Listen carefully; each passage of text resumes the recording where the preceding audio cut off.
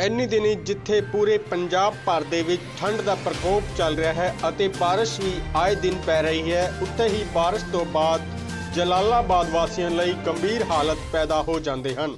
ਤਾਜ਼ਾ ਮਾਮਲਾ ਸਾਹਮਣੇ ਆ ਰਿਹਾ ਹੈ, ਜਲਾਲਾਬਾਦ ਦੇ ਲੱਖੇਵਾਲਾ ਰੋਡ ਤੋਂ, ਜਿੱਥੇ ਕਿ ਤਕਰੀਬਨ ਅੱਧਾ ਕਿਲੋਮੀਟਰ ਤੱਕ ਸੜਕ ਕਿਸੇ ਨਹਿਰ ਦਾ ਰੂਪ ਧਾਰਨ ਕਰ ਲੈਂਦੀ ਹੈ ਅਤੇ ਇਸ ਦੇ ਵਿੱਚ ਮੀਂਹ ਦੇ ਨਾਲ-ਨਾਲ ਸੀਵਰੇਜ ਦਾ ਪਾਣੀ ਵੀ ਮਿਕਸ ਹੋ ਜਾਂਦਾ ਹੈ।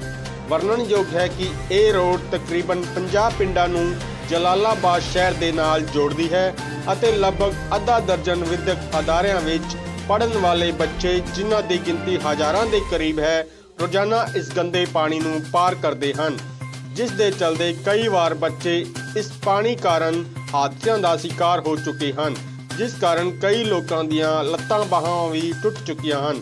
ਉਧਰ ਦੂਜੇ ਪਾਸੇ ਇਸ ਰੋਡ ਤੇ ਵਸੇ ਦੁਕਾਨਦਾਰ ਵੀ ਇਸ ਸਮੱਸਿਆ ਤੋਂ ਖਾਸੀ ਪਰੇਸ਼ਾਨ ਵਿਖਾਈ ਦੇ ਰਹੇ ਹਨ। ਸੜਕ ਦੇ ਕਿਨਾਰਿਆਂ ਤੇ ਵਸੇ ਲੋਕਾਂ ਦਾ ਕਹਿਣਾ ਹੈ ਕਿ ਪਿਛਲੇ ਲਗਭਗ 10 ਸਾਲਾਂ ਤੋਂ ਹਰ ਵਾਰ ਬਾਰਿਸ਼ ਤੋਂ ਬਾਅਦ ਗੰਭੀਰ ਹਾਲਤ ਬਣ ਜਾਂਦੀ ਹੈ ਅਤੇ ਹੁਣ ਹਾਲਾਤ ਇੰਨੇ ਬਦਤਰ ਬਣ ਚੁੱਕੇ ਹਨ ਕਿ ਪਾਣੀ ਵਿੱਚੋਂ ਬਦਬੂ ਆਉਣੀ ਸ਼ੁਰੂ ਹੋ ਗਈ ਅਤੇ ਬਿਮਾਰੀਆਂ ਦੇ ਫੈਲਣ ਦਾ ਡਰ ਬਣਿਆ ਹੋਇਆ ਹੈ। ਆਓ ਵੇਖਦੇ ਹਾਂ ਲੱਖੇਵਾਲਾ ਰੋਡ ਤੇ ਤਾਜ਼ਾ ਹਾਲਾਤ। ਜਲਾਲਾਬਾਦ ਤੋਂ ਮੋਨੂ ਛਾਬੜਾ ਦੀ ਰਿਪੋਰਟ। ਵੇਖਦੇ ਰਹੋ ਪੰਜਾਬ ਬਾਣੀ ਨਿਊਜ਼ ਚੈਨਲ ਅਤੇ ਚੈਨਲ ਨੂੰ ਸਬਸਕ੍ਰਾਈਬ ਕਰਨਾ ਨਹੀਂ ਭੁੱਲਣਾ। ਇਸ ਜਗ੍ਹਾ ਤੇ ਬਹੁਤ ਪਰੇਸ਼ਾਨੀ ਆ ਰਹੀ ਜੀ। ਇੱਥੋਂ ਲੇਡੀ ਸਵਾਰੀ ਵੀ ਲੰਘ ਰਹੀ ਜੀ। ਉਹ ਐਕਟਿਵਾ ਤੋਂ ਡਿੱਗ ਜਾਂਦੇ ਹਨ ਤਾਂ ਉਹਨਾਂ ਨੂੰ ਵੀ ਬਹੁਤ ਪਰੇਸ਼ਾਨੀ ਆ ਰਹੀ ਹੈ ਛੋਟੇ ਛੋਟੇ ਬੱਚਿਆਂ ਨੂੰ। ਦਾ ਹੀ ਪਾਣੀ ਹੈ ਕਿ ਹੋਰ ਵੀ? ਬਾਰਿਸ਼ ਦਾ ਵੀ ਹੈ ਤੇ ਕਲੋਨੀ ਦਾ ਸੀਵਰੇਜ ਦਾ ਵੀ ਹੈ ਜੀ। ਠੀਕ ਹੈ। ਸੀਵਰੇਜ ਬਾਬਤ ਤੁਸੀਂ ਕੋਈ ਸ਼ਿਕਾਇਤ ਵੀ ਕੀਤੀ? ਸ਼ਿਕਾਇਤ ਇੱਥੇ ਤਾਂ ਬਹੁਤ ਪਹਿਲਾਂ ਵੀ ਅਖਬਾਰਾਂ 'ਚ ਅਫਸਰਾਂ ਨੂੰ ਮਿਲੇ ਪਰ ਇਹਦਾ ਕੋਈ ਹੱਲ ਅਜੇ ਤੱਕ ਕਦੇ ਕਹਿੰਦੇ ਨੇ ਇੱਥੇ ਪੈਸੇ ਜਮ੍ਹਾਂ ਕਰਾ ਕਦੇ ਮੰਗ ਕਰਨੇ ਆ ਵੀ ਇਹਨੂੰ ਇਹ ਕਲੋਨੀ ਦਾ ਜਾਂ ਸੀਵਰੇਜ ਪਾ ਕੇ ਦਿੱਤਾ ਜਾਵੇ ਇੱਥੇ ਤੇ ਫਿਰ ਇਹ ਪਾਣੀ ਤੇ ਰੋਕ ਜਾਂ ਜਿਹਨੇ ਕਾਨੂੰਨੀ ਕੱਟੀ ਉਹਦੇ ਖਿਲਾਫ ਕਾਰਵਾਈ ਹੋਵੇ। ਪਾਣੀ ਤੋਂ ਬਦਬੂ ਵੀ ਆਉਂਦੀ ਹੈ ਬਿਮਾਰੀਆਂ ਵੀ ਫੈਲਦੀਆਂ। ਹਾਂਜੀ ਬਿਮਾਰੀਆਂ ਵੀ ਫੈਲ ਜਾਂਦੀਆਂ ਪਰੇਸ਼ਾਨੀ ਇਹ ਹੈ ਵੀ ਜਦੋਂ ਦੀ ਇਹ ਕਲੋਨੀ ਕੱਟੀ ਹੈ ਨਾ ਉਦੋਂ ਦੀ ਪਰੇਸ਼ਾਨੀ ਹੈ। ਕਲੋਨੀ ਦੇ ਅੰਦਰ ਸੀਵਰਾਂ ਦੇ ਢੱਕਣ ਲਾ ਰੱਖੇ ਨੇ। ਵੀ ਪਤਾ ਲੱਗਦਾ ਵੀ ਸੀਵਰ ਹੈਗੇ। ਬਾਕੀ ਉਹਨੂੰ ਜੋੜ ਕਿਸੇ ਪਾਸੇ ਨਹੀਂ ਰੱਖਿਆ ਬਾ ਉਹਦੀ ਆਊਟ ਗੋਇੰਗ ਕਿਸੇ ਪਾਸੇ। ਇਸ ਕਰਕੇ ਇਸ ਕਲੋਨੀ ਦਾ ਜਿਵੇਂ ਜਿਵੇਂ ਆਬਾਦੀ ਵੱਧ ਰਹੀ ਹੈ ਪਹਿਲਾਂ ਕੋਈ ਘਰ ਥੋੜੇ ਸੀ ਚੱਲੀ ਚੁੱਲੀ ਗਿਆ।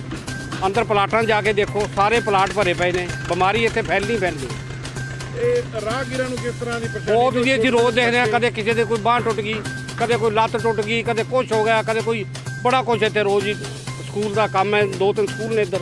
ਆ ਇਨੋਵੇਟਿਵ ਹੋ ਗਿਆ ਪੈਂਸੀਆ ਹੋ ਗਿਆ ਸ਼ਿਵਾਲਿਕ ਹੋ ਗਿਆ ਤੇ ਘੱਟੋ ਘੱਟ ਇੱਧਰ 50 ਪਿੰਡਾਂ ਨੂੰ ਇਹ ਸੜਕ ਜਾਂਦੀ ਹੈ। ਬੜੇ ਦੂਰ ਤੱਕ ਬਹੁਤ ਬੁਰੇ ਹਾਲ ਨੇ। ਕੀ ਮੰਗ ਕਰਦੇ ਅਸੀਂ ਤਾਂ ਮੰਗੇ ਕਰਦੇ ਵੀ ਇਹਦਾ ਮਸਲਾ ਹੱਲ ਕਰਨ ਕੋਈ। ਇਹ ਅੱਜ ਦੀ ਨਹੀਂ ਪਿਛਲੇ ਕਾਫੀ ਲੰਬੇ ਸਮੇਂ ਤੁਸੀਂ ਕਹਿ ਸਕਦੇ ਹੋ ਵੀ 10 ਸਾਲ ਤੋਂ ਇਹ ਪਰੇਸ਼ਾਨੀ ਆ ਰਹੀ ਹੈ। ਹੁਣ ਤੁਸੀਂ ਉਹ ਸਾਹਮਣੇ ਦੇਖ ਰਹੇ ਹੋ ਉਹ ਪਾਣੀ ਜਿਹੜਾ ਖੜਾ ਇਹ ਮੀਂਹ ਪਏ ਨੂੰ ਹਫਤਾ ਹੋ ਗਿਆ ਹੁਣ। ਵੀ 4-5 ਦਿਨ ਲੱਗ ਲਓ ਵੀ ਪਰ ਅਜੇ ਤਾਈਂ ਉਹ ਪਾਣੀ ਨਹੀਂ ਸੁੱਕਿਆ ਕਿਉਂਕਿ ਪਾਣੀ ਦੀ ਨਿਕਾਸੀ ਯਾਨੀ ਨਾ ਹੀ ਕਿਸੇ ਪਾਸੇ ਪਾਣੀ। ਜਾ ਰਿਹਾ। ਜੇ ਮੀਂਹ ਪੈ ਜਾਂਦਾ ਇੱਥੇ ਪਾਣੀ ਰੁਕਣਾ ਹੀ ਰੁਕਣਾ। ਕਿਸ ਤਰ੍ਹਾਂ ਦੀ ਦਿੱਕਤਾਂ ਪਰੇਸ਼ਾਨੀਆਂ ਆਉਂਦੀਆਂ ਬੱਚੇ ਵੀ ਇੱਥੋਂ ਲੰਘਦੇ ਆ। ਬੱਚੇ ਵੀ ਲੰਘਦੇ ਆ। ਇੱਥੇ ਨੇੜੇ ਤੇੜੇ ਘਰਾਂ ਨੂੰ ਵੀ ਕਿੰਨੀਆਂ ਪਰੇਸ਼ਾਨੀਆਂ ਇੱਥੇ ਕੋਈ ਤੁਹਾਨੂੰ ਪਤਾ ਬਿਮਾਰੀਆਂ ਦਾ ਨਿਰਾ ਇਹ ਘਰ ਬਣ ਚੁੱਕਿਆ। ਇੱਥੇ ਨਿਰਾ ਮੀਂਹ ਦਾ ਪਾਣੀ ਨਹੀਂ ਇੱਥੇ ਸੀਵਰੇਜ ਦਾ ਗੰਦਾ ਪਾਣੀ ਵੀ ਇੱਥੇ ਆ ਰਿਹਾ। ਇਹ ਨਿਰਾ ਮੀਂਹ ਦਾ ਪਾਣੀ ਇੱਥੇ ਕਿਸੇ ਪਾਸੋਂ ਪਾਣੀ ਦਾ ਜੇ ਕਿਸੇ ਪਾਸੋਂ ਨਿਕਾਸ ਹੋਵੇ ਤਾਂ ਫੇਰ ਤਾਂ ਇਹਦਾ ਕੋਈ ਹੱਲ ਹੋਵੇ। ਇਹ ਅੱਜ ਦੀ ਪ੍ਰੋਬਲਮ ਨਹੀਂ ਜੀ ਇਹ ਪਿਛਲੇ ਬਾਦਲ ਜਦੋਂ ਬਾਦਲ ਸਰਕਾਰ ਰਹੀ ਆ ਉਦੋਂ ਵੀ ਆ ਕਾਂਗਰਸ ਆਈ ਨੂੰ ਵੀ 2.5 ਸਾਲ ਹੋ ਗਏ ਪਰ ਇਹਦਾ ਕੋਈ ਹੱਲ ਨਹੀਂ ਅੱਜ ਤਾਈਂ ਨਿਕਲ ਸਕਿਆ। ਕੀ ਮੰਗ ਕੀ ਕਰਦੇ ਹੋ? ਮੰਗ ਤਾਂ ਆਪਾਂ ਤਾਂ ਇਹੀ ਕਰਦੇ ਆਂ ਵੀ ਇਹਦਾ ਜੇ ਨਿਕਾਸ ਹੋ ਸਕੇ ਕਿ ਪਾਸੇ ਦਾ ਹੱਲ ਹੋ ਸਕੇ ਤਾਂ ਜ਼ਰੂਰ ਕਰਿਆ ਜਾਵੇ। ਕਿਉਂ ਇੱਥੇ ਹਰ ਇੱਕ ਲੀਡਰ ਜਿਹੜਾ ਵੀ ਆਉਂਦਾ ਉਹ ਇੱਥੇ ਇਹੀ ਗੱਲ ਕਹਿ ਕੇ ਜਾਂਦਾ ਭਰੋਸਾ ਦਵਾ ਕੇ ਜ਼ਰੂਰ ਜਾਂਦਾ ਵੀ ਇਹਦਾ ਨਿਕਾਸ ਹੋਊਗਾ ਪਰ ਉਸ ਤੋਂ ਬਾਅਦ ਇਹਦਾ ਕੋਈ ਹੱਲ ਨਹੀਂ ਨਿਕਲ ਸਕਿਆ। ਤੇ ਜਿਹੜਾ ਪਾਣੀ ਦੀ ਨਿਕਾਸੀ ਦਾ ਸੁਣਵਾਈ ਨਹੀਂ ਹੁੰਦੀ ਅਸੀਂ ਬਹੁਤ ਚਿਰਾਂ ਤੋਂ ਕੰਪਲੇਂਟਾਂ ਵੀ ਵੀ ਕੀਤੀਆਂ, ਸਾਰਾ ਕੁਝ ਕੀਤਾ, ਪਰ ਉਹ ਕਿਸੇ ਕਾਰਵਾਈ ਨਹੀਂ ਇਸ ਦੇ ਸੰਬੰਧ ਵਿੱਚ ਇਹ ਦੱਸਣਯੋਗ ਹੈ ਕਿ ਜੋ ਮੰਨੇ ਵਾਲਾ ਪਿੰਡ ਦਾ ਰਕਬਾ ਪੈਂਦਾ ਹੈ, ਉਹ ਪਿੰਡੂ ਏਰੀਆ ਦੇ ਵਿੱਚ ਪੈਂਦਾ ਹੈ। ਸੋ ਇਸ ਦੇ ਜੋ ਨੋਡਲ ਆਫੀਸਰ ਨੇ ਉਹ ਬਲਾਕ ਵਿਕਾਸ ਅਤੇ ਪੰਚਾਇਤ ਅਫਸਰ ਜਲਾਲਾਬਾਦ ਨੇ। ਜਦੋਂ ਅਕਸਰ ਬਾਰਿਸ਼ ਆਉਂਦੀ ਹੈ ਤਾਂ ਉੱਥੇ ਪਾਣੀ ਜਿਹੜਾ ਹੈ ਕਈ ਵਾਰ ਖੜਾ ਹੋ ਜਾਂਦਾ ਹੈ। ਇਸ ਦੇ ਵਿੱਚ ਅਦਰਵਾਈਜ਼ ਜਿਹੜਾ ਉਹਨਾਂ ਦਾ ਪ੍ਰੋਪਰ ਹੱਲ ਕੀਤਾ ਗਿਆ ਹੈ ਉਹਨਾਂ ਨੂੰ ਲੋਕਾਂ ਨੂੰ ਵੀ ਦੱਸਿਆ ਗਿਆ ਹੈ ਕਿ ਤੁਸੀਂ ਨਰੇਗਾ ਦੇ ਵਿੱਚੋਂ ਵੀਡੀਓ ਨਾਲ ਤਾਲਮੇਲ ਕਰਕੇ ਆਪਣੇ ਘਰ ਦੇ ਵਿੱਚ ਪਿਟਸ ਬਣਵਾਓ ਜੋ ਕਿ ਪਿੰਡਾਂ ਦੇ ਵਿੱਚ ਅਕਸਰ ਬਣੀਆਂ ਹੋਈਆਂ ਨੇ ਤਾਂ ਜੋ ਪਾਣੀ ਦੀ ਨਿਕਾਸੀ ਦਾ ਹੱਲ ਹੋ ਸਕੇ। ਪਰੰਤੂ ਉਹਨਾਂ ਵੱਲੋਂ ਅਜੇ ਤੱਕ ਕੋਈ ਇਸ ਸੰਬੰਧੀ ਕੋਈ ਵੀ ਉਪਰਾਲਾ ਜੋ ਹੈ ਨਹੀਂ ਕੀਤਾ ਗਿਆ। ਸੋ ਜਦੋਂ ਵੀ ਬਾਰਿਸ਼ ਦਾ ਪਾਣੀ ਖਤਮ ਹੋ- ਅ, ਖੜਾ ਹੋ ਜਾਂਦਾ ਹੈ ਤਾਂ ਵੀਡੀਓ ਨੂੰ ਕਹਿ ਕੇ ਉਸ ਦਾ ਹੱਲ ਕਰਵਾ ਦਿੱਤਾ ਜਾਂਦਾ ਹੈ।